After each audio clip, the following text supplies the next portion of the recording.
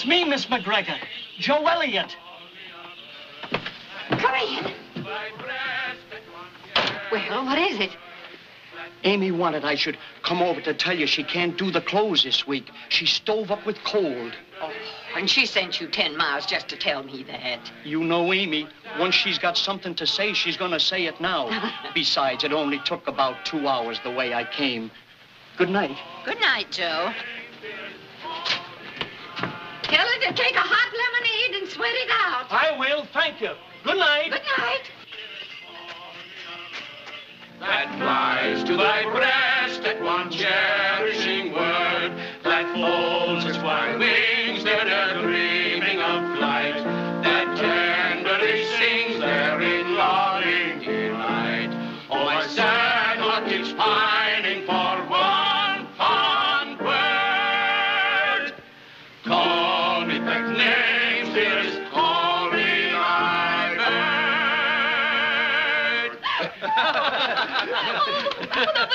wonderful. Wasn't that wonderful? Like going to the theater for nothing. What do you say, folks, if we organize a quartet right here? Mr. Calhoun will be the baritone. I'll carry the lead. Tom will be the tenor. All we need is a bass. How about you, Winthrop? Why, he couldn't carry a tune in a bucket. Perhaps our new boarder, Mr. Bell, might do. Who, the professor? Our young genius. Bell's all right, just different. but do you suppose he really believes he can teach that deaf and dumb child he brought here to talk? All I can say is, if the Lord intended dumb people to talk, he'd have taken care of it. Oh, excuse me. Oh, come in, Mr. Bell. Miss McGregor, do you have any, any copper wire in the house? Uh, pic- picture wire will do. Copper wire? Yes, I, I, I need about 17 feet for one of my experiments, and, and all the shops are closed at this hour. Why, the idea of expecting to find 17 feet of wire at this time of night. oh, I never heard of such a thing, Mr. Bell. Well, I, I'm sorry if I bothered you. Good night. Well, just a moment, Professor. Don't think I'm impertinent, but we've just been wondering if it's true you can teach dumb people to talk. I hope to, someday. You see, Mr. Darcy, the reason deaf mutes can't speak is that they have bad ears and not, not bad vocal cords. Never having heard speech, they, they can't imitate it. So if we can find a way to, to visualize sound for them, then there's no reason why they shouldn't speak as well as any one of us. Is there? No, I guess not.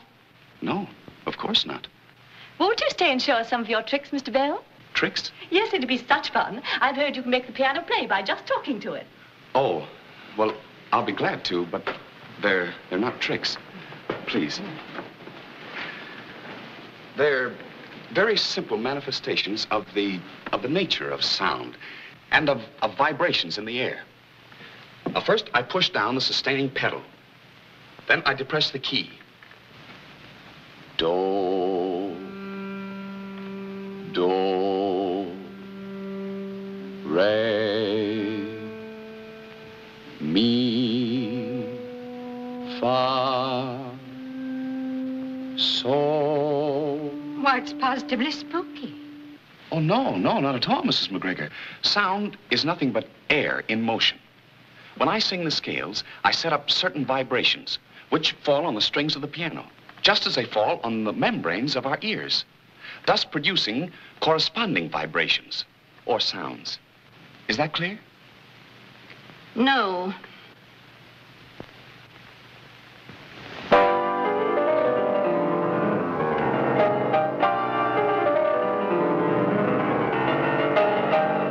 Mr. Bell, the little boy's father's here to see you with another gentleman. Mr. Sanders? Thank you. Excuse me, please. Mr. Bell? That's a dandy act. I'll bet you could do something with it. Thank you, Mr. Darcy. I expect to. Hello, Alec. Hello, Mr. Sanders. How is he? Just fine. I want you to meet my friend, Gardner Hubbard, Alexander Graham Bell.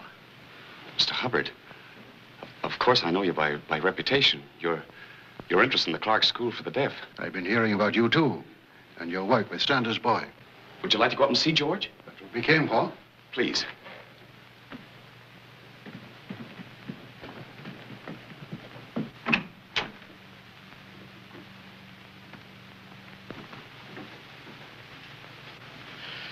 That's the multiple telegraph Bell is working on.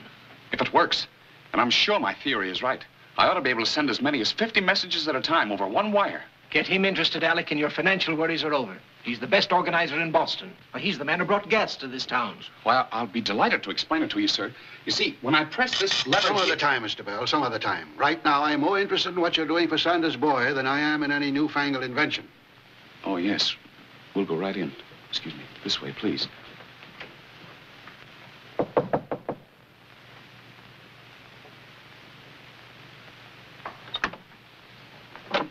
May, we see George? He's asleep, but I'm sure he'd want to see his father.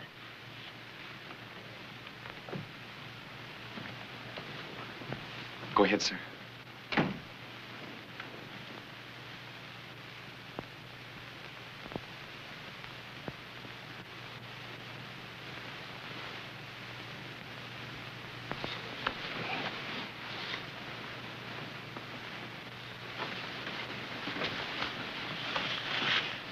Shall I speak to him?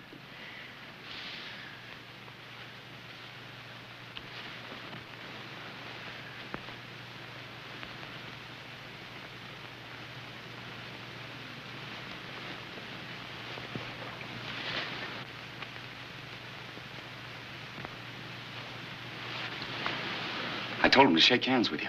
And he understood you? You saw what he did? Now I'm asking him if I should tell you how our glove works. We began by teaching him to spell simple words like C-A-T, and then showing him a cat. Now, by touching the letters, or, or rather combination of letters, I can talk to him as rapidly as I can to you.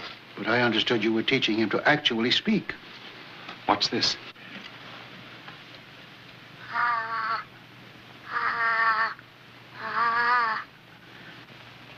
Have you ever succeeded in teaching a child that was born deaf to speak? No. And as far as I know, nobody else has. But I have great hopes. And Bell's still young, but he's had some mighty interesting experiences with sound and speech. Tell him about them, Alec. Well, uh, I come of a family that, that has made a professional study of the mechanism of speech for two generations before me. My grandfather, Alexander Bell, and my father, Alexander Melville Bell, were elocutionists who devoted their entire lives to the correction of defects of speech.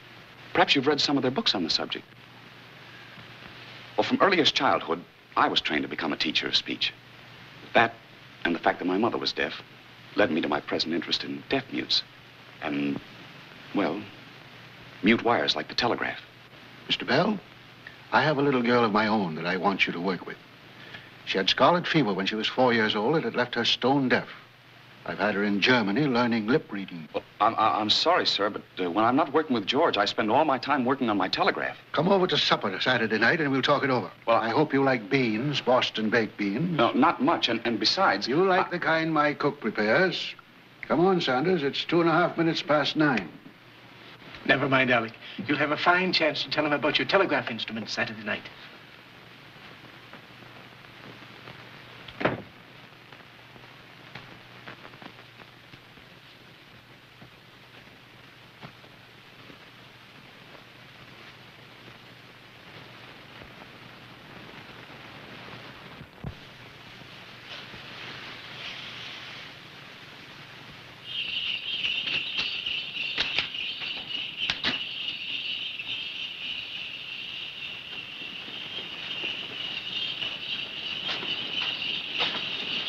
Our tiger!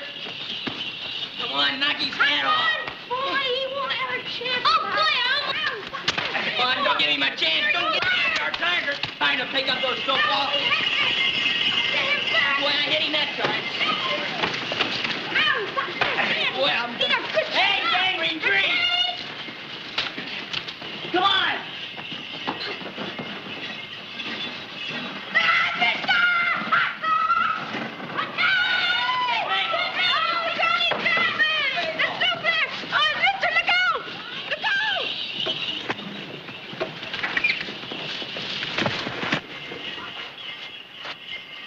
It's kind of slippery, isn't it? Young lady, may I suggest the sidewalk is no place for sleds? The sidewalk is very narrow. The ice makes one's footing very uncertain. You might have ruined the most important piece of electrical equipment in the city of Boston. Oh, I can excuse such behavior in children, but, I- but I, I don't What, think... what, what did you say? I said you are no longer a child, and, and that I, I think that... I'm sorry. Would you mind speaking a little more distinctly? Young lady, I come from a long line of elocution teachers. My grandfather, and my father wrote textbooks on the subject. I think I know when I'm speaking distinctly. Good night. I- I'm sorry, but you see, I...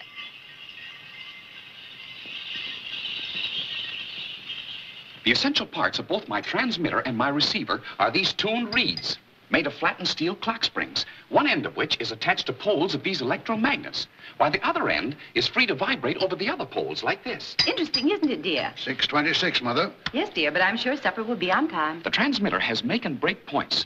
Ah, come in, my dear, come in.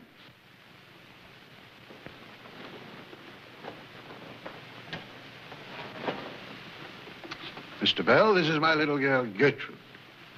Your little... Oh, but, but I, I thought... How do you do, Miss Hubbard? Very well, thank you.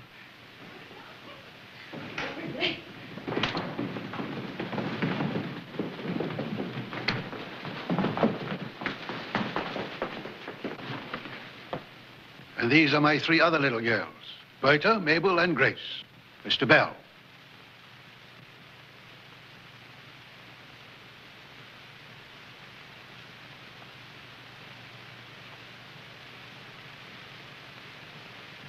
Good evening, my dear. Mm-hmm.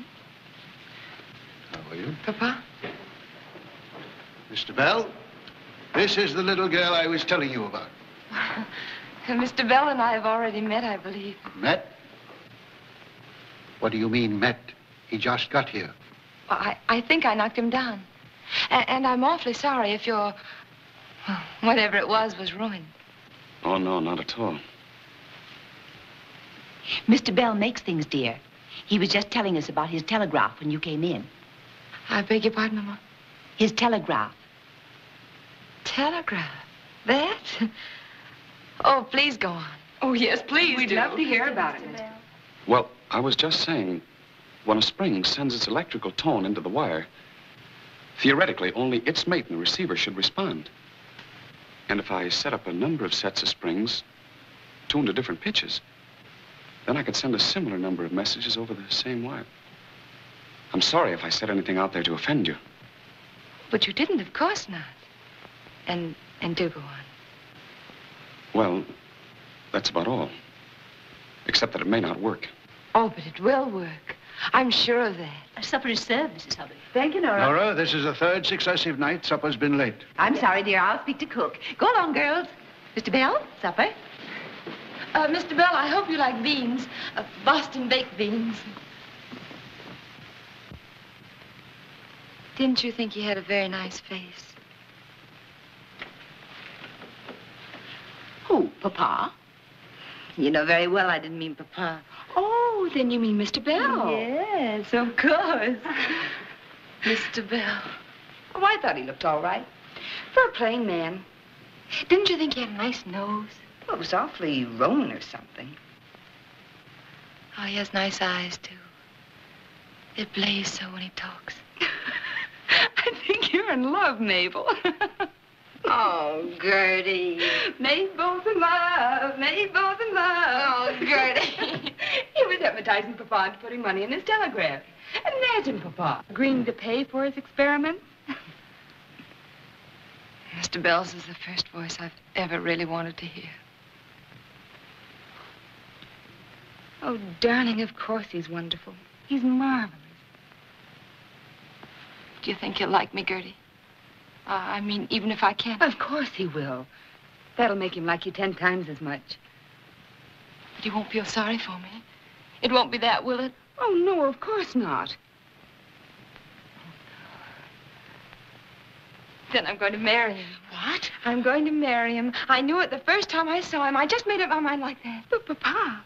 Oh, what will Papa say? I don't care what Papa says. I'll just close my eyes and then I won't be able to hear him. And besides, Papa mustn't know yet. Nobody must know yet. Only you. Oh, but you know how I am about secrets. I'll just die if I can't tell it. But you won't tell this, Gertie. You promise me you won't tell. Well, I won't if you promise to tell me everything he says and does. All right. All right, I promise. Shh, Papa. Gertrude, you and Mabel stop that foolish chatter. Don't you know it's exactly 11 minutes past 10? Put out the lights and go to bed. Yes, Papa. What did he say? He said to go to bed. Oh, all right, we'll go to bed. You know, if you hadn't married him, I would. Oh, Gertie. Gertie.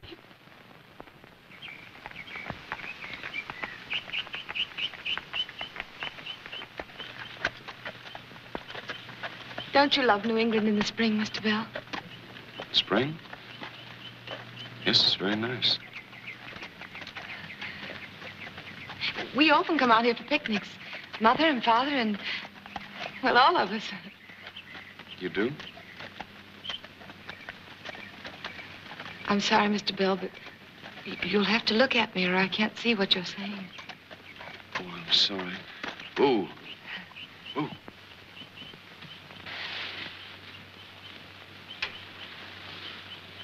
Won't you tell me what's wrong? Wrong? Yes. Yes, you've hardly spoken a word to me since we started. Ha- have I said or done anything to offend you? Oh, no, certainly not. Oh. It's just that, well, I've been thinking. Yes? You see, it may take years before I get anywhere with the telegraph, and I was just wondering whether or not I ought to go on with it. Go on with it. Suppose I don't want to wait. Suppose there are things I want to do now, while I'm young. Things I might do if I gave all my time to a regular position like teaching at Boston University or something. What sort of things do you want, Mr. Bell? Oh, I don't know. A wife. A home.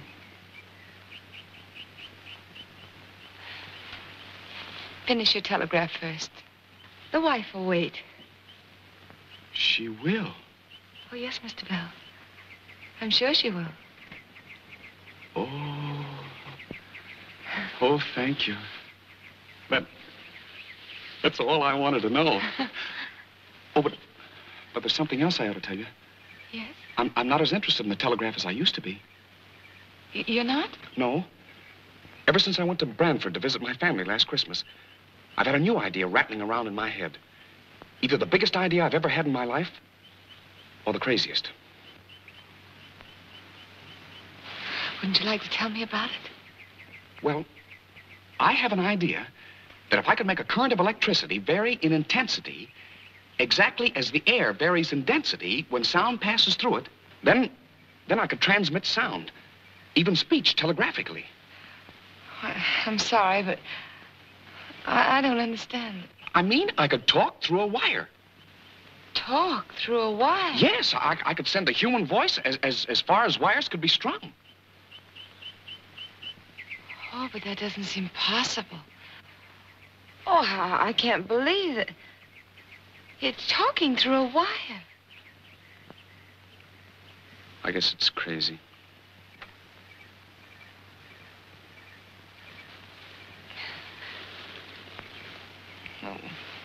When are you going to start work on it, Mr. Bell? Monday night. Oh. Thomas Watson, an electrician who makes all my apparatus for me, is moving in with me to help me. Oh, then, then you were really asking me for my endorsement and not my advice, huh? Something like that. uh, Mr. Bell, if you spend all your time working on this, uh, how will you live? Oh, I'll, I'll manage somehow. But don't think I'm going to use the money your father lends me for anything but the telegraph. Oh, no. I'm going to work on this new idea in my spare time. Oh, yes. Yes, I understand. But, Mr. Bell, if I were you, I wouldn't tell my father about this yet. You, see, he gets awfully upset if people don't finish what they start out to do. Couldn't this be our secret for a little while anyway? Perhaps that would be wiser and safer. Oh, much safer, Mr. Bell. Much. Eat it.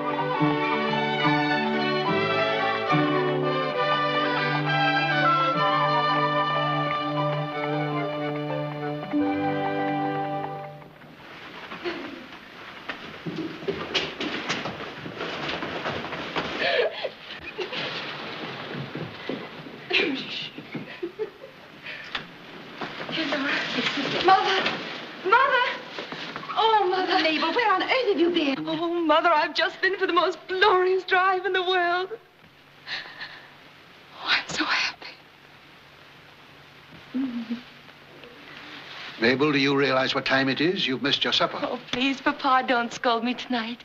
Not tonight. We've been worrying about you for hours. Something might have happened to you, child. Oh. It's all right now, Gardner. It was all my fault, Mr. Hubbard. I talked so much, neither of us noticed the time. No. And and finally we had to stop under the streetlights so so I could see what he was saying. And the time just slipped by. Yes. Oh, Mother, Alec has such wonderful ideas. Alec? Alec. Uh, well, I, I I mean Mr. Bell. Oh, no, please call me Alec. All right. She called him Alec. Mr. Bell, won't you stay and have something to eat? Oh, no, no, not now. I, I must be going. Good night, good night, Mrs. Hubbard. Good night. Good night, Mr. Hubbard. Good night. Good night. Good night, Alec. Good, good night. Good night, everybody. Come, dear, you must be hungry. Oh, I couldn't eat a thing. Not tonight, Mother. Good night. Good night, Papa. Gertrude! Gertrude! Call me pet name, dearest. Call me Gertrude, the most exciting thing has just happened. Come on. Oh, my sad heart keeps pining for one kind word. Call me pet names, dearest. Call me Alec. Pack, pack, pack, the boys are packing. Cheer up, comrades, they will come. Ba, ba, ba, ba, ba. Careful, Watson, you'll break something. Good, then you'll have to buy more stuff for my boss. Listen, if it hadn't been for your boss overcharging me, we wouldn't have been turned out of here. Stop arguing. You'll get turned out of better places than this before you're through. You needn't bother packing your things, Mr. Bell. Nothing's leaving this house until I get my rent. You, you mean you're going to hold my things? The law gives me that right, and I certainly shall. But, Mrs. McGregor, I, I, I told you I'd send you your money as soon as I can. There's no use arguing. Out you go. But your things stay here. I won't leave them. I can't. I've got to have them. Oh, no, you don't. No, those things stay right here. Yeah, not, not, not that, not his vocal cords. Vocal cords? Yes, those belong to a Chinaman they've got pickled over at Harvard. Oh, heaven helps. Get it out of here. Get all this junk out of here. Junk? Did you say junk? Yes, junk. Get it out of my house. I'm sick and tired of seeing it around. You've had this place looking like a pigsty long enough. Get it out before I throw it out the window or burn it up. Mrs. McGregor, at this moment, I could almost kiss you. Don't you dare lay a hand on To me. think that I have so misjudged you. In fact, I'll even give you the very shirt off of my back. Remove one garment and I'll have you arrested. Come on, before she changes her mind. Get that.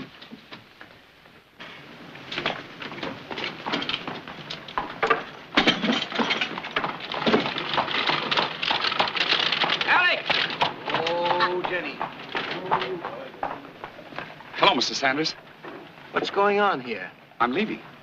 Leaving? Yes, I, I'm taking George back to his grandmother's. I don't understand, Alec. You've taken my money, you built up my hopes, and now you're walking out on my boy. Oh, I, I'm not walking out, sir. I'm, I'm being thrown out. But you had money. I paid you only last Thursday. And Hubbard... Well, I, I, I used that for some new equipment. Then why didn't you ask me for it in advance? Well, you, you don't understand, sir. I, I expect to be working nights. And, and where I'm going isn't a suitable place for George. That's why I'm taking him back to his grandmother's. But that's in Salem. What about your work with him? Well, I expect to go to Salem every other day. That's all. I'm sorry, Alec. I ought to have known you better than that. It's all right, Mr. Sanders. Bell, hurry, here she comes. Excuse me, Mr. I- Bell! I've got to Mr. go. Bell, here, take this awful thing. Oh, Where'd I find you? I'll be at Thomas Watson. That's me, 109 Court Street, over the Williams Electric Company.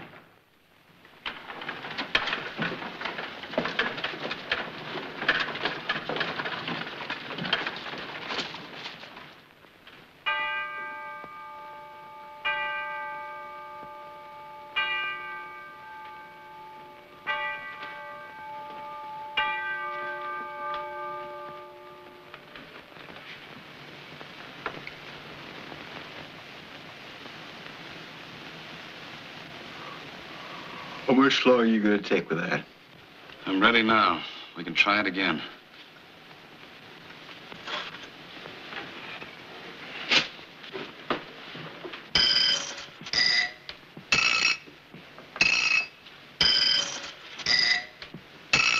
Honest, I'm no genius.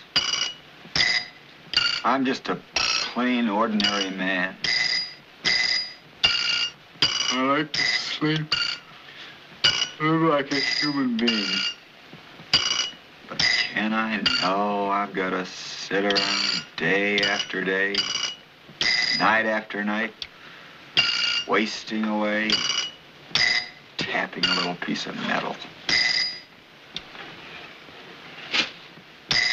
I can remember when I used to know pretty girls. I must have been in another world. Stop mumbling. We may be on the verge of a great discovery. As long as I can remember, we've been on the verge of a great discovery.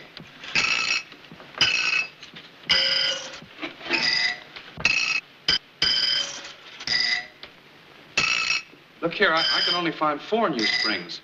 I thought I told you to get five. I'm sure I told you to get five. I remember now you had just enough money to pay for them. Five new springs at 25 cents each. Now, where is that other spring? I ate it. You did what? I didn't mean to. I was going along and I I saw that food in the window. Suddenly I got such a craving I couldn't stand it. I went by twice. I tried not to go in, but I couldn't help it. I was hungry. I can't go on living forever with So you ate one of my springs. You took the last 25 cents we had to fill your miserable little stomach. Yes, I did. I told you I'm no genius. I'm through starving. I'll go out to the Indian Territory, live on buffalo steak, and you or nobody else will stop. Wait! Wait, don't move the thing! Don't touch just as much my money as yours. I had. Show me! Show me! What, what did you do? Do? I didn't do anything. But you did something. I saw it. I heard it. Well, the spring stopped vibrating. I just plucked it, that's all. But I heard a sound, a full musical note with overtones. Through the wire. Show me everything you did. Well, this this contact screw got stuck. Making a permanent contact with the spring? Yes, and I, I just snapped it. While the, while the circuit remained unbroken? I suppose so. Then that strip of magnetized steel was generating its own current. Do it again. No, wait. No, wait. Wait a minute. Wait. All right. Do it now.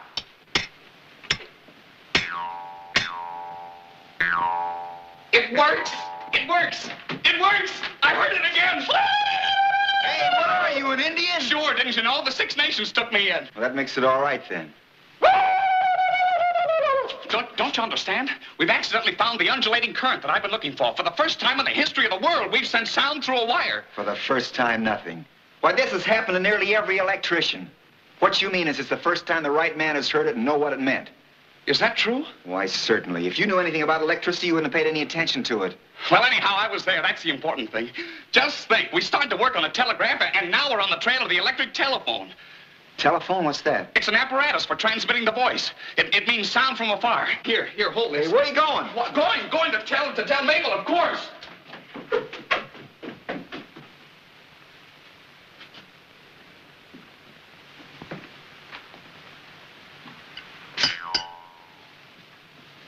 Telephone.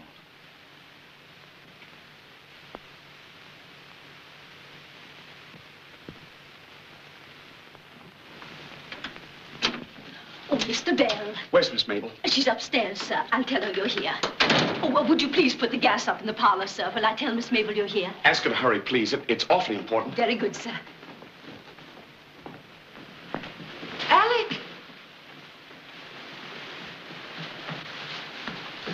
Mabel. Alec, what is it? Mabel, I, I've just discovered the mo... Mabel. Now we can get married. What? Will you marry me? Hurry, tell me. Yes. You will. Of course, Alec. Oh, thank you. I, I never had any other intention. Oh, no, no, not here.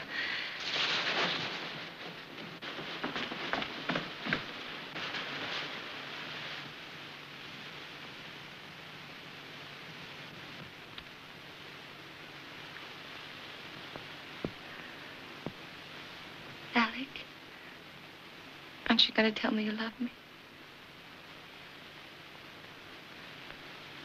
Oh, please. I want to hear you say it. I love you, darling. It's so dark in here I can't see. No, say it. I love you. Again. I love you. Oh, don't say a word. Don't move. Don't even breathe. I want to remember this moment all my life. Just as it is.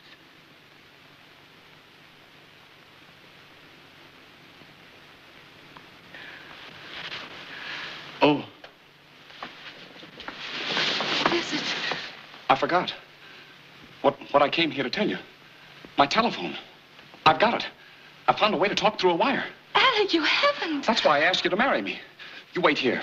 I've got to tell your father. No, no, no, no. No, Alec, he's he's reading, and maybe you better wait. Not me. You tell your mother and the girls. I'll handle him. The-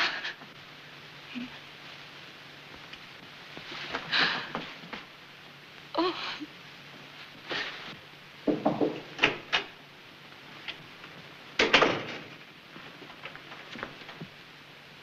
Mr. Hubbard. Just a moment, Mr. Bell.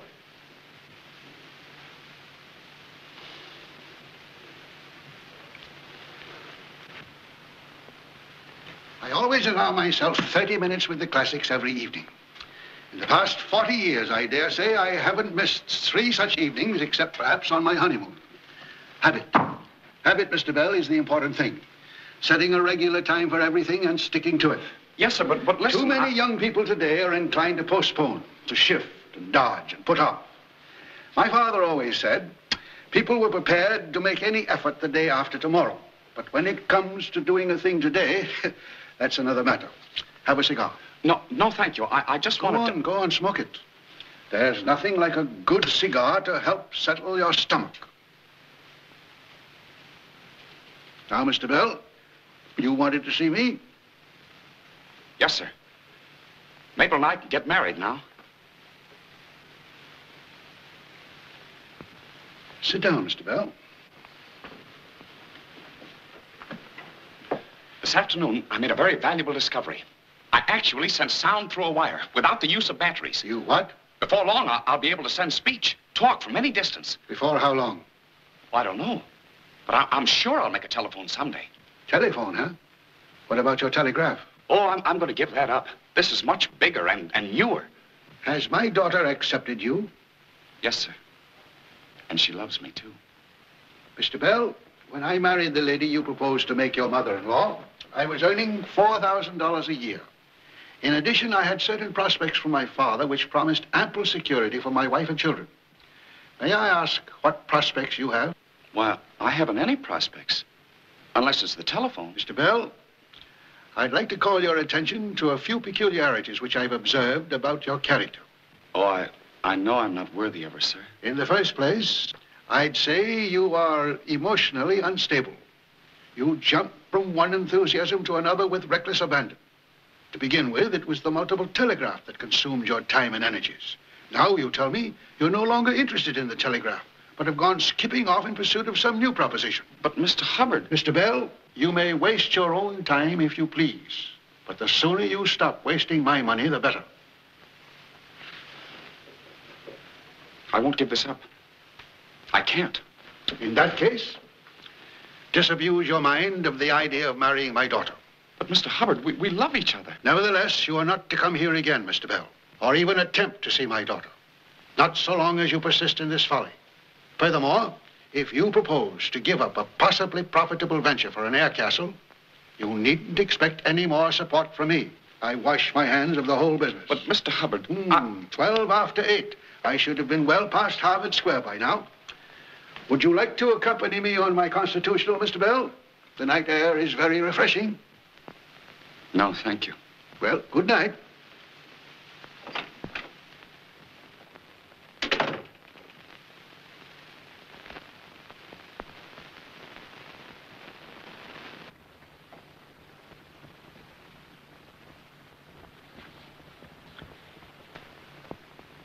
Now take this little egg. I crack it, I drop it tenderly into the grease. It quivers and is still. Result? Hunger. But take this same little egg. I leave it to nestle tenderly and lovingly under its mother's breast. Snug and warm. Soon it becomes flesh and feathers. Then it too is dropped tenderly into the grease. Again it quivers and is still. Result? A feast.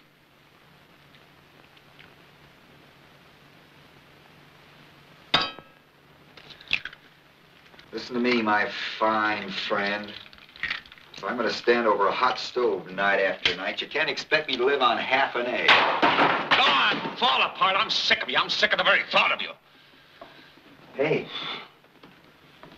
What I think of the hours, the months we wasted on that stupid idea. You say you're tired. You're hungry. Well, so am I. I want to live like other men just as much as you do. I want a decent bed to sleep in, de decent food to eat. I'm in love. I want to get married. And I will. And if I ever have a child that, that, that, that so much as looks at a piece of copper wire or, or mentions electricity, I'll...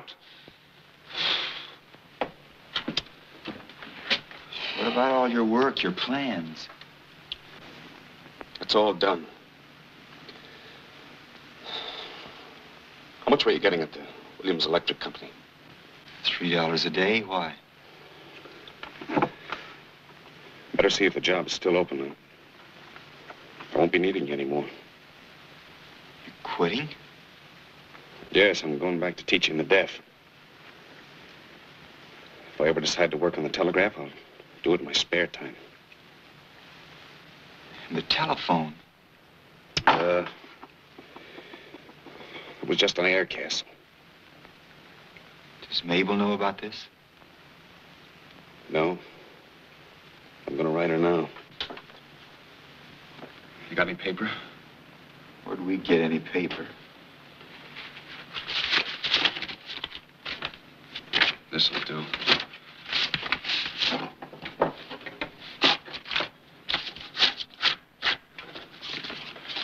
What's the date?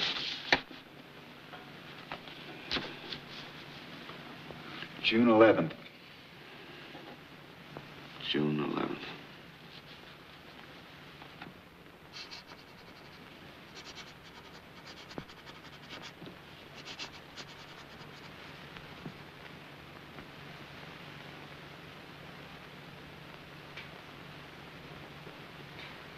Mother. Yes, dear? Mother, I've got to see Alec. I know, dear. I know what you've been through this past month. No, I mean now. I've got to go to him. Come on. Mabel, to his room? Have you gone out of your head? Mother, I can't help it. I must see him now, today, this minute. Oh, my child. What would your father say? Mother, my eyes are closed. I'm not listening to you. Oh, please, you've got to go with me. I've got to see him. But, Alec, you can't give up your telephone just because Father says so. That'd be criminal. I know what I want, and I've made up my mind to have it. Perhaps Alec is right, dear. Oh, Mother, why do you say that? You know he's not right. But after all, you two love each other. Isn't that enough? It is for me. Well, it isn't for me. Alec, if you give up your telephone, I... I promise I'll never marry you. Maybe. I mean it, Alec. Child, child, It's what up are to you you.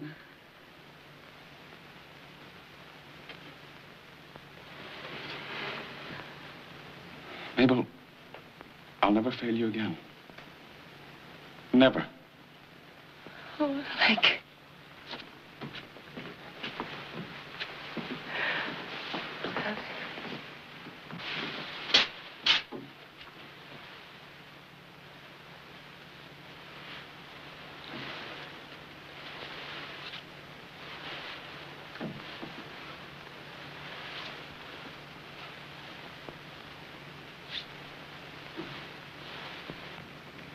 You awake? Mm-hmm. What are you thinking about? Mabel. So was I. I was thinking now I've got to make a telephone. I've got to find a receiver. Some way to get speech. If I don't, I'll be just as badly off as I was before she came here. Wouldn't it be wonderful if we should invent the telephone? And it turned out to be the very thing that could make her hear. If you had any imagination or knew anything about sound, you'd know that can't happen. How do you know you aren't God? I know because in the human ear, when vibrations strike against the eardrum, they cause tiny bones in the back of the head to oscillate. But in Mabel's case, the nerve current in the back of those bones has been permanently injured. Even if sound waves cause the bones to oscillate, cause the bones to oscillate. Oscillate? Oscillate. Undulate.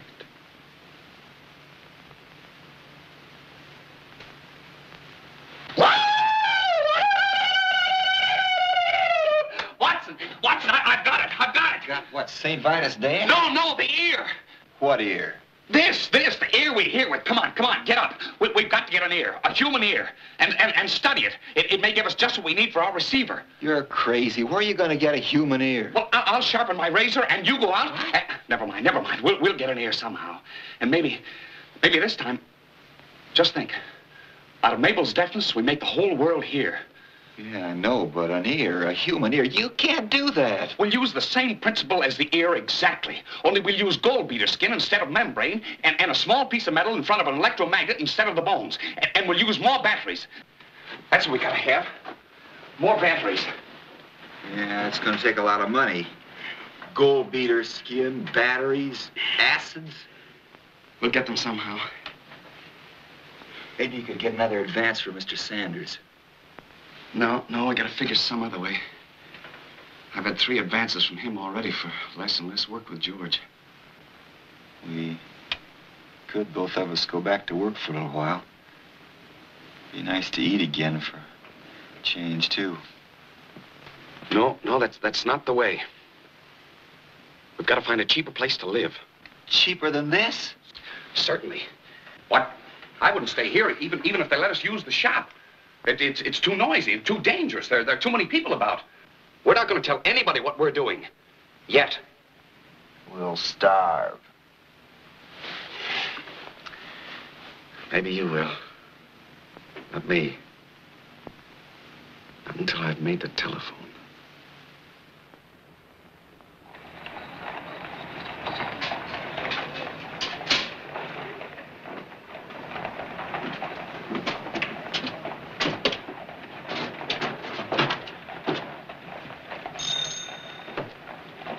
Charming place. Such atmosphere. Boiled cabbage and flat beer, I'd say. Oh, it's you. Well, don't forget, Mr. Bell, this is for lodgings only. If you think you're going to get any food without paying for it, you got another thing coming. Understand? Lady, we only eat at the Parker House.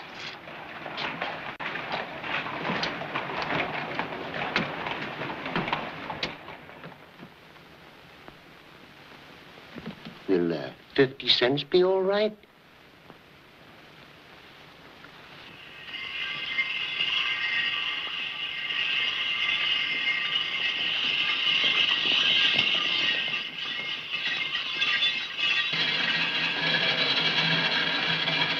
Merry Christmas, sir.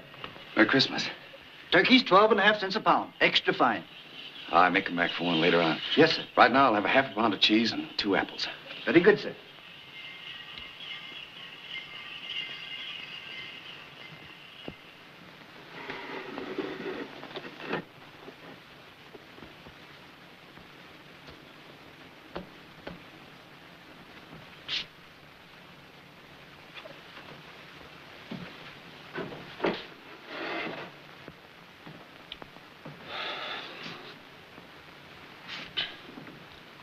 Want this?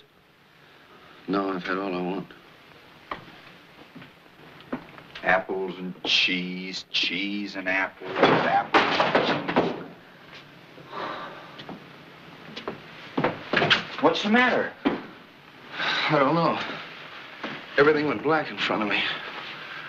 I feel sort of dizzy. Maybe I better lie down for a few minutes. Well, you lied. You haven't eaten. I didn't. I didn't think I was hungry.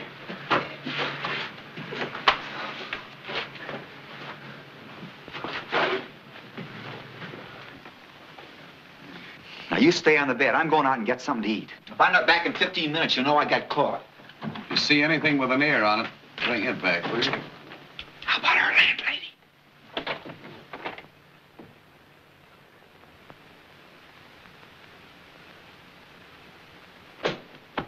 Ah, stomachs are funny things. They gnaw at you and growl like a lion when you neglect them. Fill them up again, they settle down and purr just like a kitten. Sure nobody saw you? I saw him chasing the cat, so I expect I'm safe enough. Ah, I thought these cigars were sort of a nice afterthought. I had my heart set on a plum pudding where I couldn't find it. Wish you'd found a well-done battery with acid oozing all out of it. Well, we can't sit here all day. Let's get to work. On Christmas Eve? Well, what's the matter with Christmas Eve? Well, Christmas may not mean anything to you, but it does to me. I'm not moving. I'm going to sit right here and belch till morning.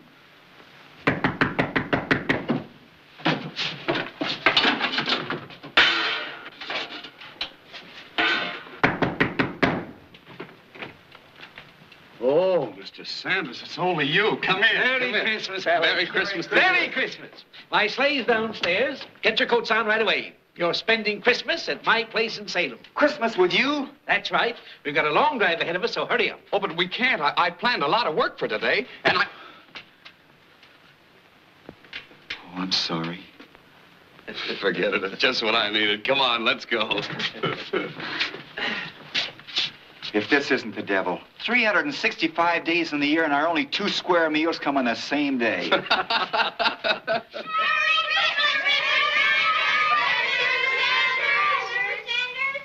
Merry Christmas, boys. Merry Christmas, Nellie. Merry Christmas. Come in, boys. Merry Christmas. I thought I heard you. Father. Oh. Merry Christmas, my son. Merry Christmas, Miss Sanders. Merry Christmas, Alec. This is Mr. Watson. Merry Christmas, Mr. Watson. And now, don't balk, young man. I'm going to kiss you, too. Sure, Mrs. Sanders, I'm sort of a flirt myself.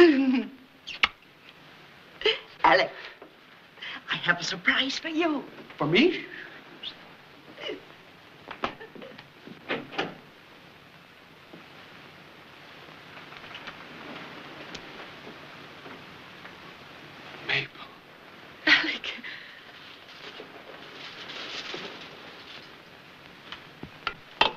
You couldn't come to see me.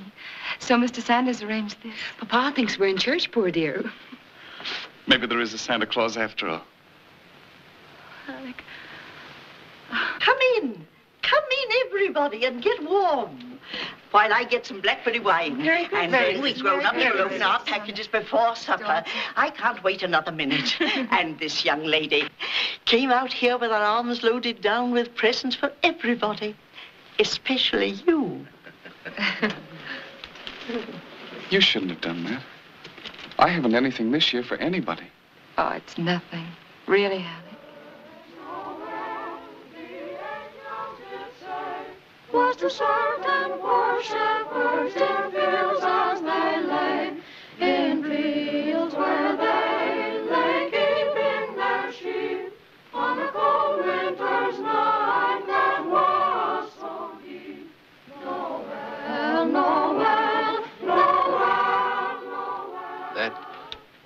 that little fellow looks like George, doesn't he?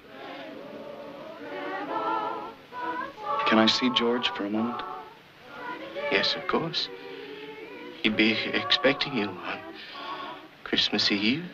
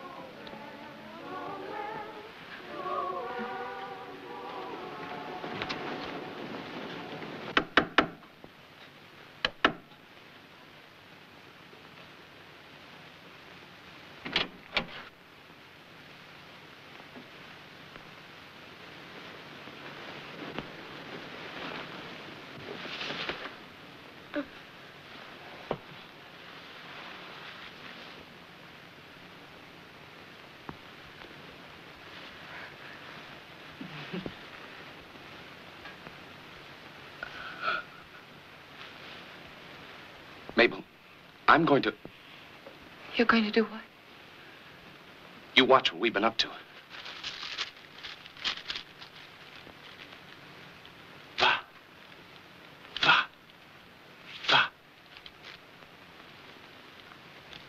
Mr. Watson, won't you have a cookie? Now, don't tell me you have a bird's appetite. Yes, ma'am. Mhm. Vultures. Nellie, uh, take some cookies outside to the children, please. Oh, Alec, you mustn't take him out there, not tonight. Oh, think of his presents, the tree and Santa Claus.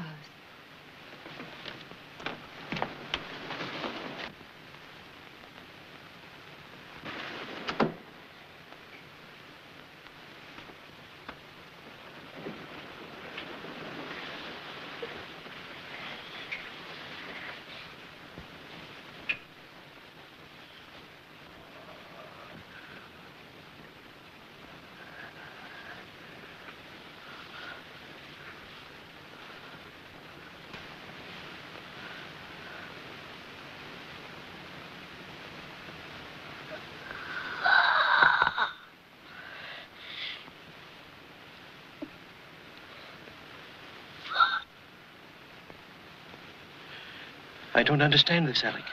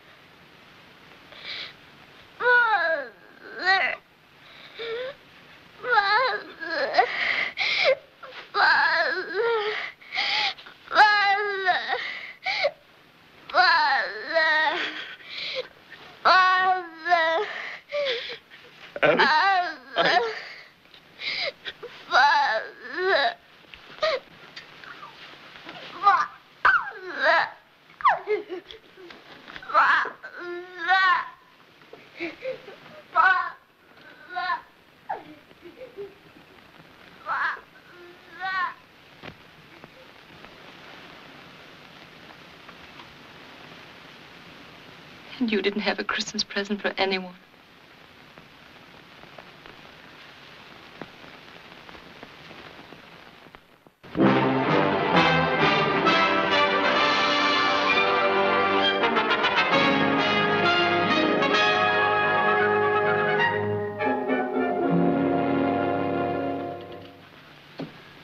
Thanks to Mr. Sanders, now we have acids and batteries. You go on in the other room and listen while I do the talking. Even if it worked, you couldn't hear me after all the talking I've done.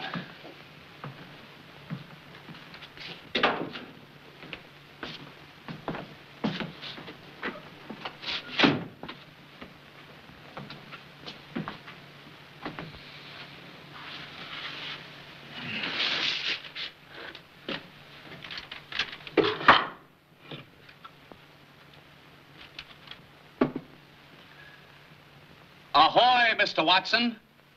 Are you there? I now have water in the transmitter cup. Can you hear me? Can you hear me?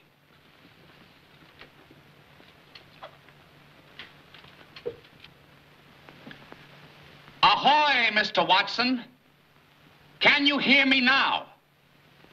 This is Alexander Bell speaking to you from 5 Exeter Place on March 10th, 1876. Ahoy! Ahoy!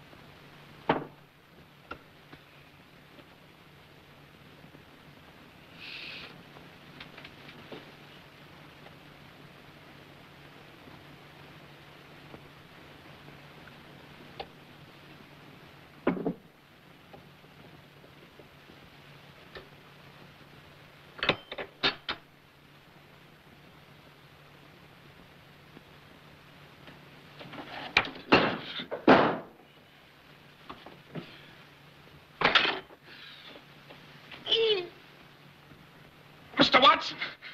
Come here. I want you.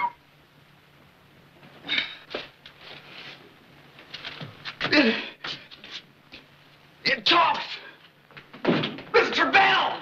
Mr. Bell, I heard you. I heard your voice. Then hurry, I'm burned. But I heard you. Your voice through the wire. I understood what you said.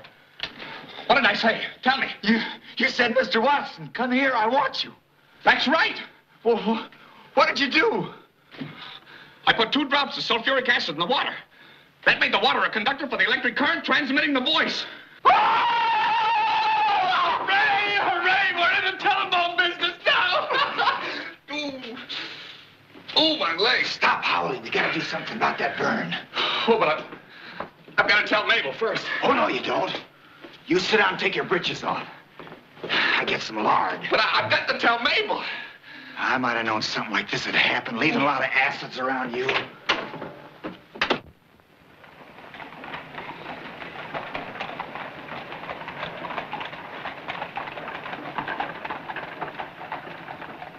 Ladies and gentlemen, now that the telephone is an accomplished fact, it gives me great pleasure to, to demonstrate its practical use in, in the social and business world. Uh, in a moment, my associate, Mr. Thomas Watson, will, will speak to you from the city of Boston, 20 miles away. Uh, for, the, for the benefit of the audience, additional receivers have been placed at strategic points throughout the hall.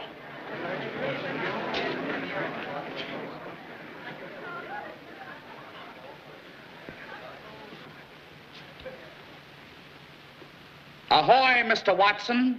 This is Alexander Graham Bell speaking to you from Salem. Can you hear me? Hoy, Mr. Bell. Ladies and gentlemen, it gives me great pleasure to address you this evening. Although I am in Boston and you're in Salem. That's the kind of one I've never heard.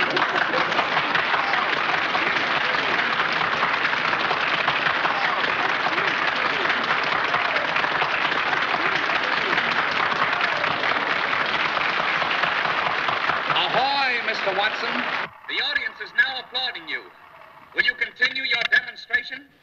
You're next.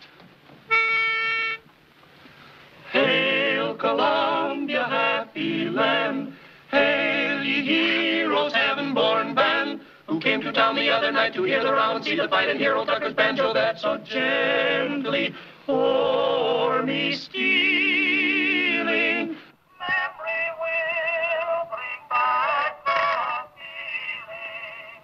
Spite of all my griefs revealing that I dearly love the star-spangled banner, oh, long may it wave. for the land of the free and the home of Yankee Doodle came to town riding on a pony, stuck a feather in his cap and called it sweet. Genevieve.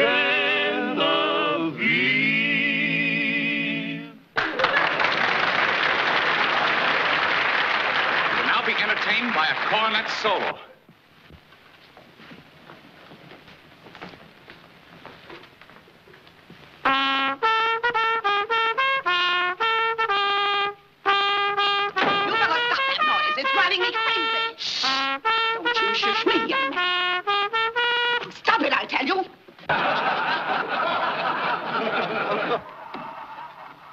Hoy, Mr. Bell. I have a special treat for you tonight. There is a lady present and is going to speak to you. The first woman's voice ever to be heard publicly over the telephone. Say something in here quick. All I've got to say is this. If you and Mr. Bell don't stop this foolishness, pay your rent. Out you go.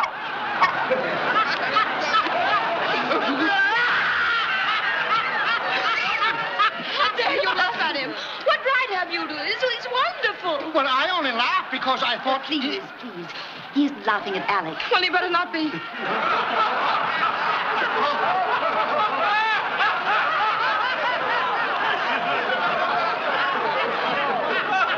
And that, that, ladies and gentlemen, concludes our demonstration this evening.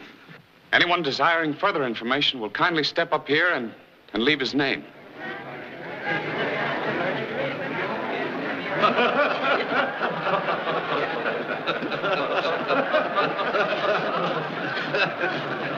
What makes it talk, Father? It's just a plain hollow wire. You talk into it at one end, and naturally the voice comes out at the other. Very amusing evening, Mr. Bell. Imagine putting one of those things in your home and expecting your wife to use it. Edward, you really think there's nothing to it? Gardner, in my opinion, the telephone will never be anything more than a toy. You won't put any of your money into it or advise your friends to do so? I shall urge all my friends to have nothing to do with it. Thanks. I just wanted Mr. Bell to have your opinion. Good night. Good night, Gardner. Good night, Mr. Bell. Good night, Mrs. Hubbard. Good night, Miss Hubbard.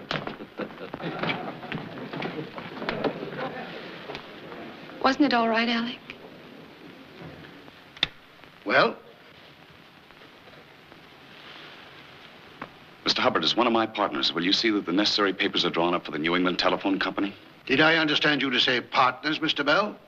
You and Mr. Sanders put up all the money for my experiments. It's only fair that you should share in the returns. But I have no right in this. I never put any money in your telephone. The money I gave you was for your telegraph. I'm not asking you for any money, sir. All you've got to do is help me incorporate. I've already talked to the Williams Company about manufacturing our telephones. Watson and I can install them. And I suppose the next thing you'll be wanting us to wire every house and public building in the country? We might have to do that, too, eventually. Mr. Bell, tomorrow morning, Sanders and I are going to have our heads examined just for standing here listening to such nonsense. Good night. Come along, Sanders. In the meanwhile, we better start looking over our assets. It, it looks as if we're in the telephone business now. If he doesn't have apoplexy before morning, he'll come along. If we both don't have apoplexy,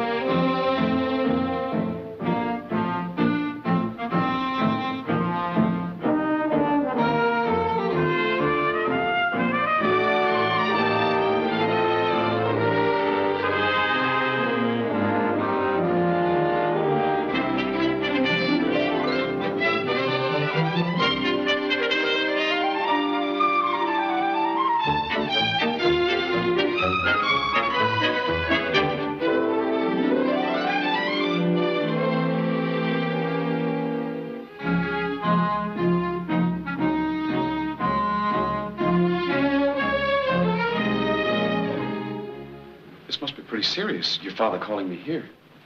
I'm afraid it is. He didn't eat any supper. Oh, Mr. Bell, come in. Sit down. Thank you, sir. Good evening, Mrs. Hubbard. Good evening, Mr. Bell, I have here an itemized account of the expenses I've incurred in connection with your telephone during the past year. To my amazement, I find that I'm involved to the extent of $7,017, against which, as assets, I can count only 207 telephone installations at a net rental loss of $621. Now, what I want to know is, what are you going to do about it? I have that all figured out, sir. I'm going to England. England? Yes, sir. I've had a letter from Sir William Thompson, one of the greatest scientists in England. You know, the man who made the transatlantic cable possible. He says he's heard about the telephone and that there's a great deal of interest in it over there. If I go over there, he feels sure he can arrange a demonstration before Queen Victoria. Queen Victoria. Yes, darling. He says if the Queen will install telephones in the palace, then the whole world will follow suit. Just as they'd copy your hats. Why, Alec, that's a splendid idea. Of course they will. May I ask who's going to pay for this pilgrimage? Well, sir, I felt that as long as you and Mr. Sanders already have so much money involved, you'd be willing Mr. to... Bell, I used to call you a fool. I apologize. You're a genius. I'm the fool. But, Mr. Young man, you have a blissful disregard for money. That may be an enviable asset to a genius, but not to a business partner. Oh, but, uh, Father, I, I'm sure we can manage somehow. Did you say we? Mabel. Uh, Mabel, yes, Papa. I'm going with him. you're what? Alec, I can't let you go 3,000 miles away from me. Mabel, Father, we've waited long enough. If Alec goes to England, I'm going with him. You will take me with you, won't you? You don't think I'd go without you, do you? Oh, darling. Mabel, Father, my eyes are closed. Mr. Bell, will you stop this? Gardner, she's right. You've kept these young people apart long enough. Mother, Oh, my goodness. Oh, what have I said?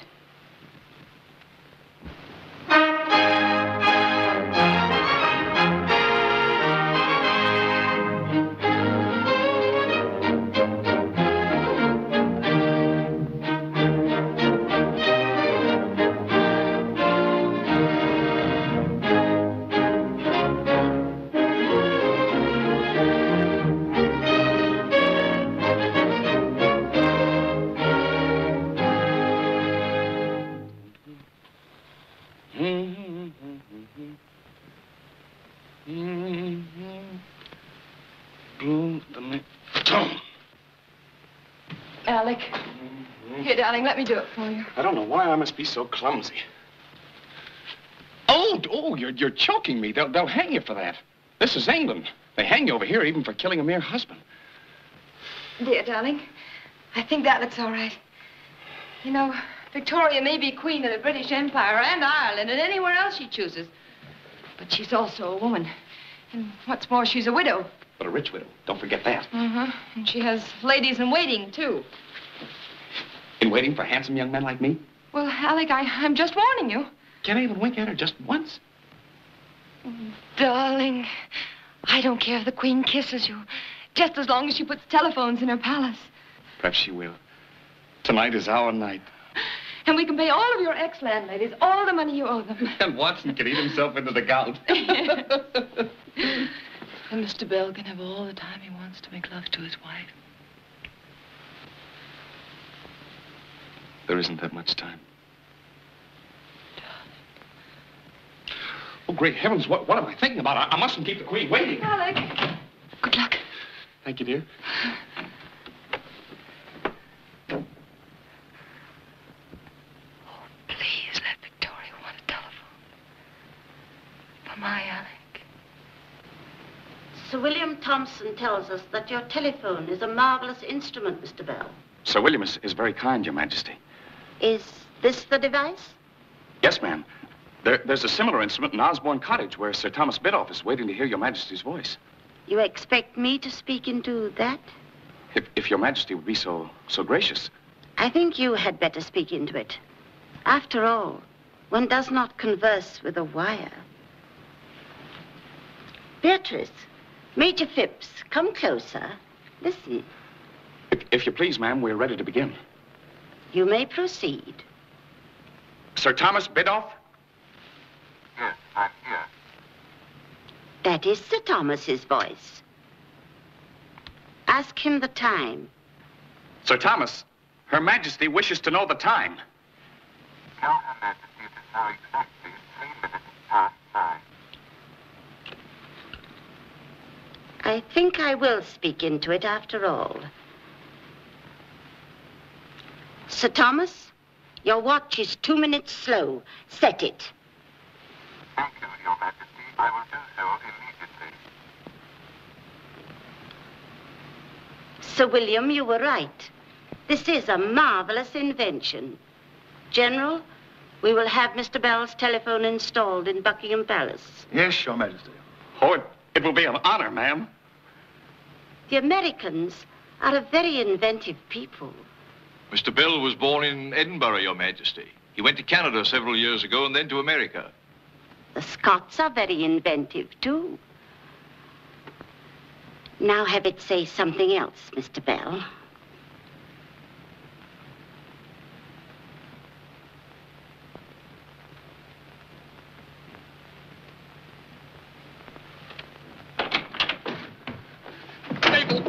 She likes it. She wants telephones at Buckingham Palace. Yes, darling, I knew she would. Tomorrow, the court calendar will carry the news, and the day after, the whole world will know it's fashionable to talk through a wire. Alec, wait a minute. This just came tonight from Father. What is it? What is it? Here. I'll read it to you. Dear child, your mother and I hesitate to cast a cloud on your happiness, but no longer can we hide from you the terrible things that are going on here. Ever since your marriage, there's been nothing but trouble. A new telephone company, known as the American Speaking Telephone Company, has been organized with the Western Union Company backing and has entered the field against us with their own instrument, which they advertise as the product of the original inventors, meaning Dolbear, Gray, and others. They boast that their telephone is infinitely superior to Alex. They've got everybody afraid even to deal with us. Cancellations are pouring in. We had hoped to spare you this, at least until Alec had seen the Queen. But there's but that is no longer possible. Unless a miracle happens to save us, Sanders and I stand to lose all. Our homes, our credit, everything. Your loving but despairing father. What are you going to do? Do? Why, fight them, of course. Fight them tooth and nail with, with everything we've got. Of course we will, darling. Of course. Superior, is it? Superior to mine, hmm? We'll go home on the first boat. Yes. We'll show them. Maybe we are poor. Maybe my telephone is still crippled and, and lame. No, Alec. Maybe, maybe it is still, still in want. But it's part of my blood and brains. It's mine, all mine. And they'll never take it away from me. It's my child. And your other child, Alec. Why,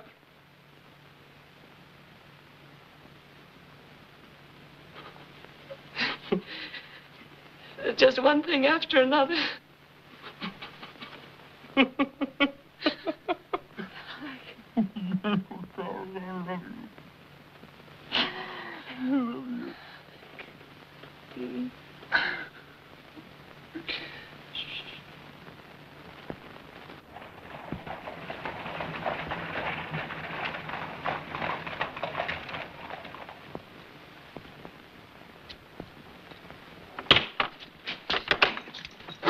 Ahoy. You'll have to speak louder, please. Mrs. Crow would like to speak, Mr. Blackford. Just a moment, please. Go ahead. Ahoy. Clear 70.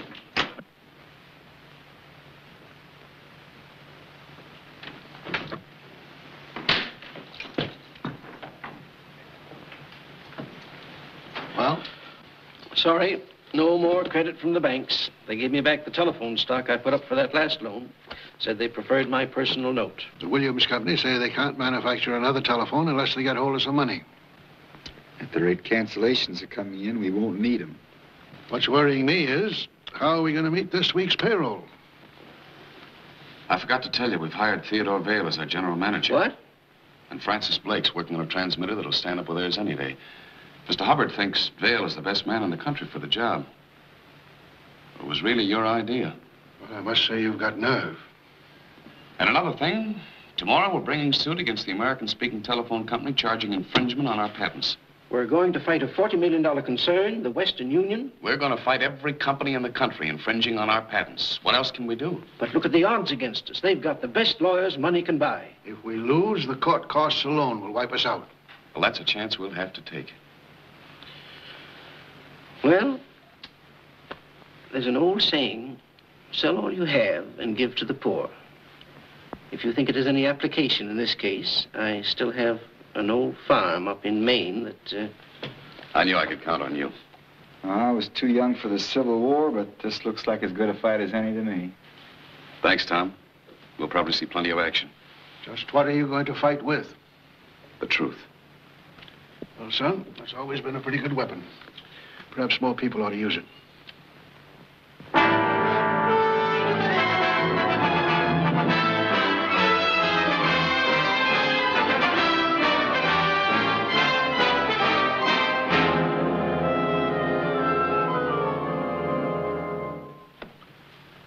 Proceed. Your Honor, it has not been the intention of my clients to burden this court with wordy debates. We have endeavored to confine ourselves to the facts. First, that Alexander Bell was not the first to invent the telephone. Second, that the patents under which the New England Bell Telephone Company have been operating were fraudulently obtained. And third, we have defied the plaintiff to show that Mr. Bell had been working on the undulating current feature of the telephone prior to February the 14th, 1876, at which time, by strange coincidence, both he and Mr. Gray informed the Patents Office uh, simultaneously of their work on the telephone. Very well. Counsel may proceed. Mr. Bell, what is your occupation? I'm a teacher of the deaf. Are you an American citizen? Yes, sir. An American citizen by choice. I see. Now, Mr. Bell, have you any proof to give us that you were working on the uh, undulatory feature of the telephone prior to February 1876? Only my word, and the word of my friends. Not a notebook? Not a little scrap of paper? Not even a pencil mark on a wall? Nothing? No, sir. I didn't have time to record my findings. I see, Mr. Bell. Very convenient. You uh, have heard, of course, that not one, but five other men were working along similar lines prior to February 1876. That's what I've been told in this courtroom. Oh, come, come, Mr. Bell. Are you trying to impeach our witnesses? Have you any proof that they were not so engaged? No, sir. But I repeat, I was working on my system early in 1875. And that I first produced sound through a wire on June 2nd of that same year. And that on March 10th, 1876, a human voice, mine, was heard through a wire for the first time in history. Mr. Bell, I have here certain sheets of paper which you have identified as rough drafts of your patents application. Do these correspond with your final patents application? No, sir. Why not? I wrote and rewrote those specifications a great many times. Those sheets are mere fragmentary remains that happen to be accidentally preserved. Hmm. Well, I don't see any mention of the undulating current in this uh, rough draft, as you call it. Those statements were added as I completed and redrafted my application. Mr. Bell, could those specifications have been added after you had filed your application? Certainly not. I mean, could you have gained illegal access to the Patents Office and copied into your application certain paragraphs from a paper or caveat that had been filed the same day as your patent application? Your question is insulting. I refuse to hear it. Answer me, sir. Did you connive to steal the basic principle of your telephone? Yes or no? I have only contempt for such a question. Thank you, Mr. Bell. Your Honor, I protest against the tactics of some of our opponents. In the name of decency and fair play, I protest against Mr. Barrow's foul insinuations. Your Honor, I'm sorry that my learned colleague is so thin-skinned. All we ask of Mr. Bell is that he produce one single bit of legal proof, one memorandum, one scrap of paper proving his contentions of priority. But will he? No. Can he? No. And why not? Because, Your Honor, he hasn't any proof. None exists. Mr. Bell, this court desires to afford you every opportunity to establish your claims. If you have any proof, I shall expect you to have it here Monday morning. Until then, this court stands adjourned. Court adjourned.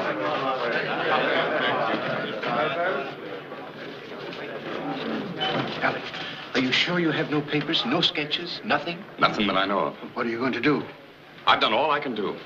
I'm going home. Home? You can't do that. I've heard all of this I want to hear. I'm going to be with Mabel when our baby is born. But, Alec, it may be weeks yet. You can't be certain about the first, baby. I'm sorry, I'm going. At least let me telegraph and find out when you'll be needed. Alec, stay. If you leave now, I can promise you, you'll lose.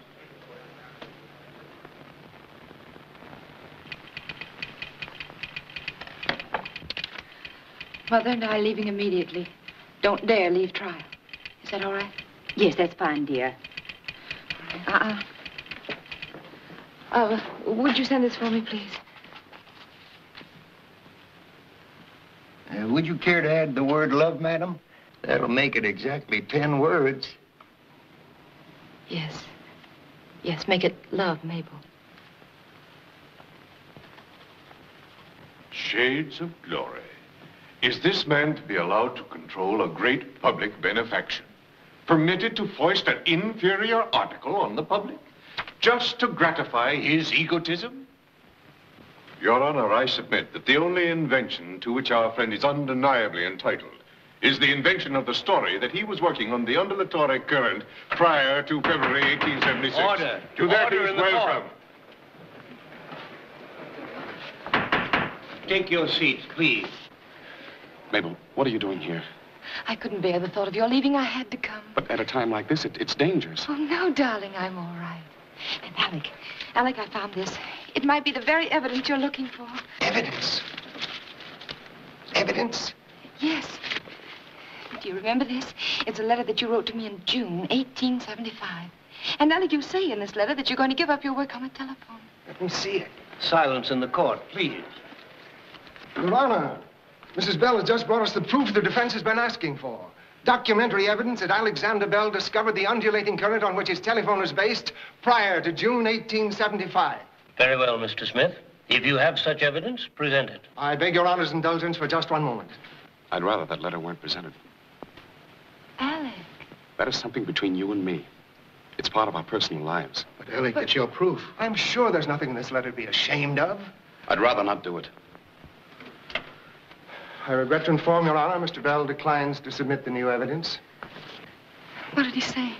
Alec won't let him present the letter.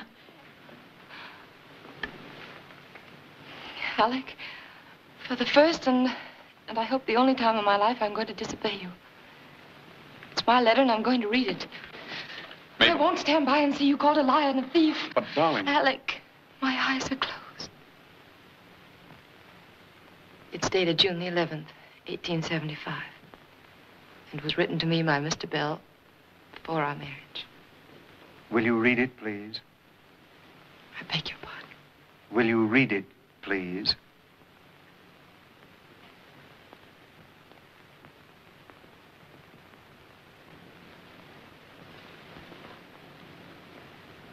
My dearest one, I have loved you with a passionate attachment that you cannot understand. That is to me new and incomprehensible. Ever since I held you in my arms and kissed your lips, I have known what I want most in life. Without you, I am nothing. With you, I am complete. Because this is so, I have decided to give up my telephone. This is little enough to do if it means that I will have your arms about me forever. I may call you sweetheart and wife. Go on, Mrs. Bell. Please don't grieve at my decision. The telephone will be born someday, somehow, and so far as I am concerned, I do not care one bit who gets the glory, so long as the world gets the benefit. With all my heart, I am yours.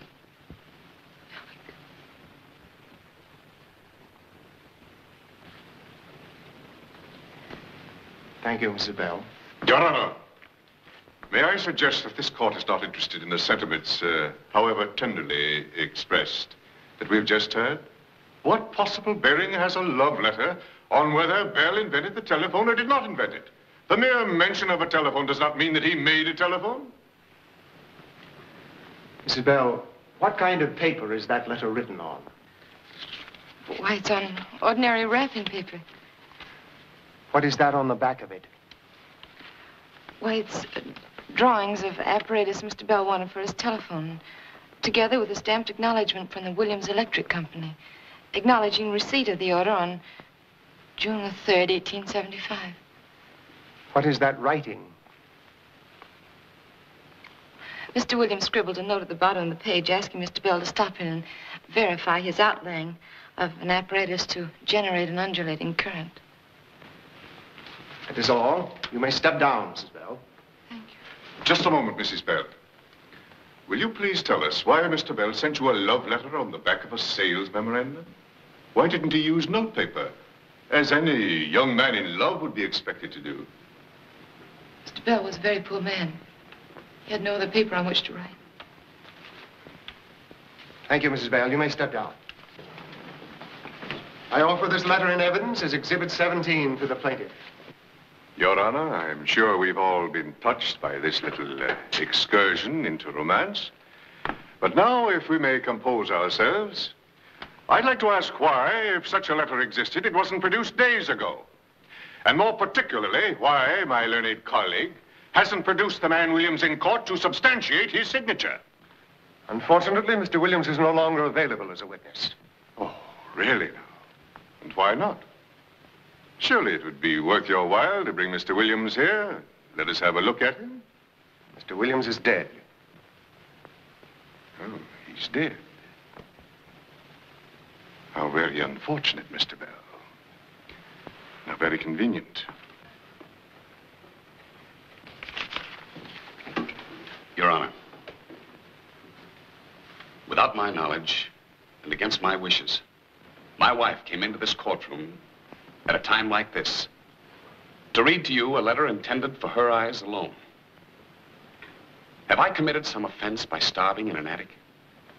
By spending sleepless nights at my work? By being too poor to own a decent scrap of paper on which to tell her of my love? I have sat here for days and heard myself called liar, thief, fraud, and cheat. I've seen my friends humiliated, my invention belittled, just as I have seen my business destroyed by methods which must leave every honest man appalled. Your Honor, we protest against this interruption. Yes, But yes, yes, haven't we had enough of this sentimental nonsense? I demand that this man be declared in contempt of court. Mr. Barrows, we're all here in the interest of truth. And I don't think Mr. Bell can do that any great injury. Sit down, Mr. Barrows.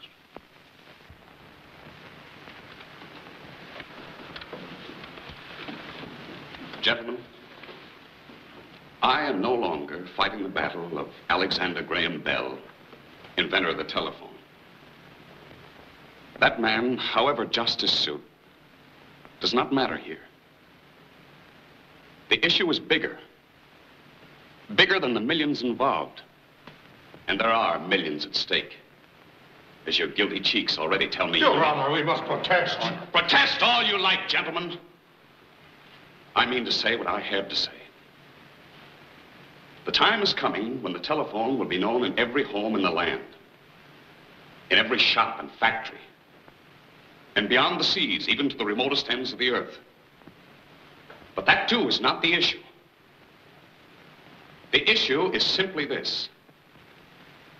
Shall the lonely scientist, the man who dreams, and out of his dreams benefits the world, is he, that often half-starved, lonely little man, to be told the world has no need of him the moment his work is done? Your Honor. Is he to be told that others, less gifted but stronger, men Men with money and power behind them are waiting to take the product of his genius and turn it to their own uses, leaving him with liar and thief branded on his brow as his only reward?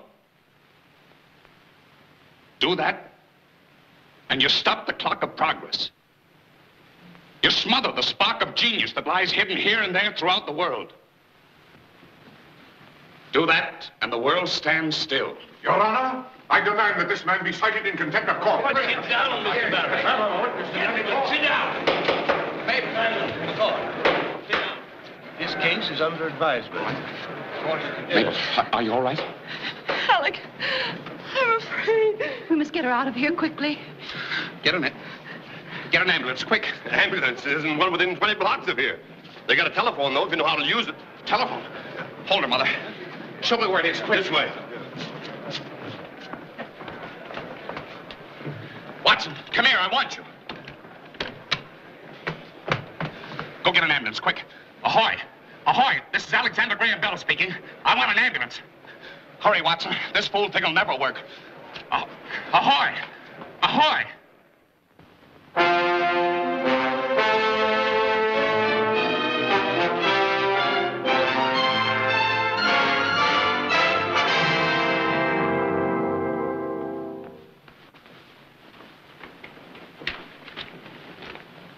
Well, here she is. Pretty as a picture.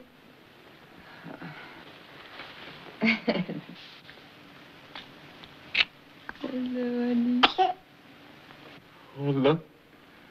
I think she knows me. I'm sure she does, dear. Would you like to hold her? Who, me? Oh, you, you know how clumsy I am. Yes, I would. There you are, darling. Be careful of her back.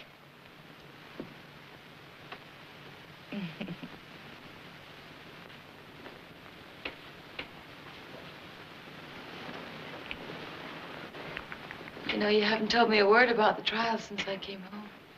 Well, they still have it under advisement, which probably means we've lost. Alec, would you mind so terribly? One can't work and struggle and not care when it all goes for nothing, especially when there are others involved. Your father, Mr. Sanders, Watson. But, you know, I've been thinking about something else. Alec, Mabel, your father, Mr. Sanders, and Mr. Watson are here, and uh, someone else. May they come in? Why, of course, Mama. Here, darling, I'll take her. How's my little girl? Alec, you know Mr. Pollard, and the president of the Western Union. How do you do? My wife and my daughter. Uh, Mrs. Bell, we must apologize for coming here like this, but uh, your father insisted. Go ahead. Break it to them. Well, Mr. Bell, the Western Union is ready to admit that you and you alone invented the telephone. What? We will retire from the field and turn over to you the 56,000 telephones we now have in operation. Alec. Uh, the fact is, we made the mistake of accepting a false report from one of our engineers. After your wife read your letter in court, we made a further investigation. We found that this man Bracewell not only intended to deny your rights, but to injure us as well. Mr. Bell, we're not only willing, but anxious to pay for that mistake. Of course, if you'd consider us as partners, we could offer our wires, rights of way, improvements, and other assets. You could. Or shall we say one-fifth interest? Well, I I don't know what to say. I ought to warn you, you have probably the most valuable single patent ever issued. Your stock was selling on the New York Exchange this morning for a $1,000 a share. A thousand dollars? Well, what do you say, Alec? Well, I- I'll have to ask my wife. Alec, you know I never interfere with your business.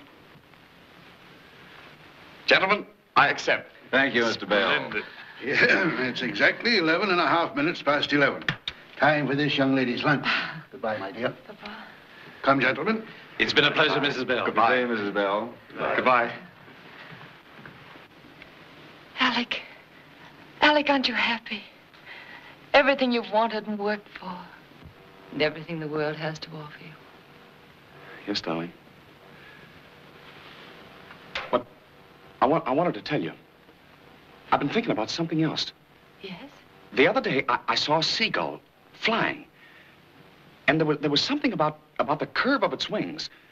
It just occurred to me that if a bird that's heavier than air can fly, a man might fly too. What did you say?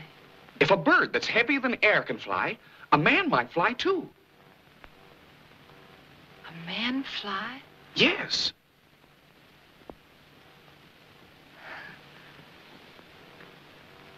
When are you going to start work on it, Mr. Bell?